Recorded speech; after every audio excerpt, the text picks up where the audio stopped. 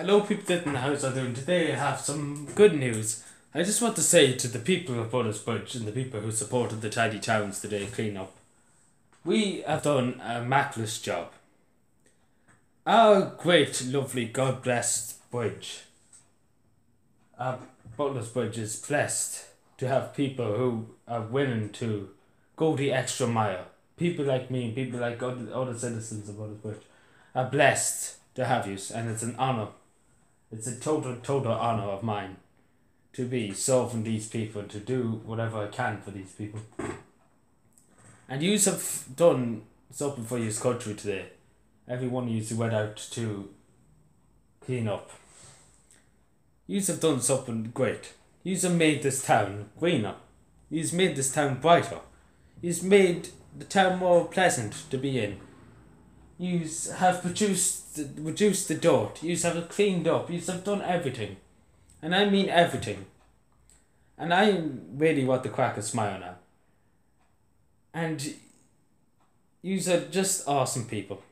And it's a pleasure to be a politician in this town and to serve the people of Butlersbridge. And it's a pleasure.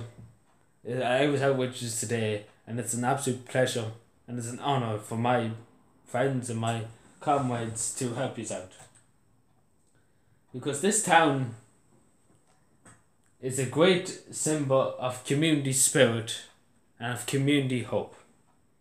Because together we mix into one and we have a common cause.